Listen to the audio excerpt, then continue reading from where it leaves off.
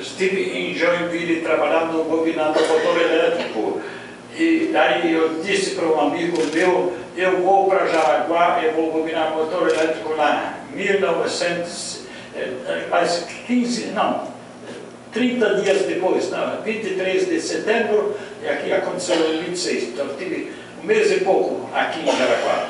Aí esse camarada disse, olha, lá em Jaraguá eu tenho um amigo, uh, amigo não, meu pai que é, uh, cuida, é chefe de uma fábrica de pólvora lá. Aí eu cheguei também visitar o homem aqui, para ver que tem motor para consertar.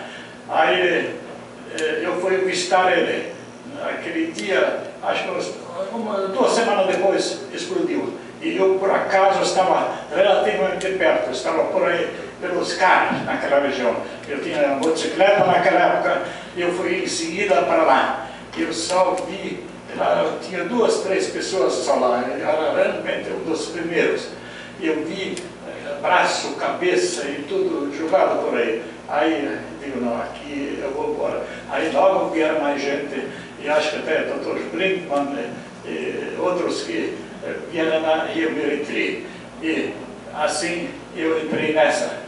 Então, como sempre tinha o Valdemar, encabeçou isso, veio o amigo da Bergen, ele encabeçou isso e eu fui ajudando o que eu posso. Eu digo, não, eu tenho condição, vamos fazer uma coisa lá. No começo a gente pensou no local, mas eh, não, eh, não sei, não, não se chegou à conclusão que devia ser no cemitério mesmo. E assim aconteceu. Tá? Muito obrigado.